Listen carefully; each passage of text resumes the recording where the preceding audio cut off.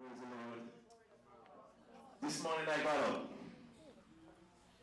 And between here and my wrist was this pain, chronic pain.